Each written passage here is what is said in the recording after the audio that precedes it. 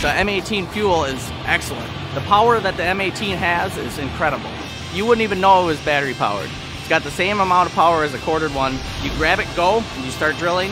It's real quick, it's light, it's really easy to maneuver.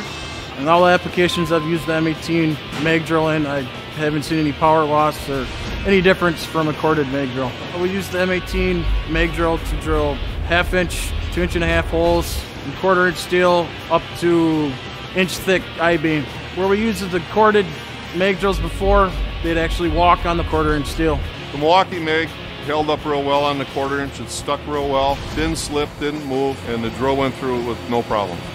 The magnet is, itself is independent. It doesn't need a generator or an extension cord to keep the magnet engaged. And it's right down to a one-man operation. The weight is amazing, and you stick it to the tower. It holds great. It drills beautifully. I was really pleased to see how strong the magnet is and also how powerful the drill is itself. We drill a 1360 volt very often. It's one of our most common bolts that we use. When you fully charge it, you can get plenty of hours of work out of it. With this one, with the independent magnet and just being battery operated, even if the battery dies, the magnet's still there.